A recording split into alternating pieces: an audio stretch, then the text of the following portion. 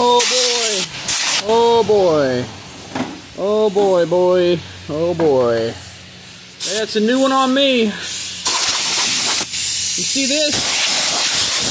Look at this disaster. So you're wondering where the heat sink is? Well, here's the heat sink. Now why is the heat sink over here? Well, it's because this is a normal heat sink bracket, and this is the bracket on the other side.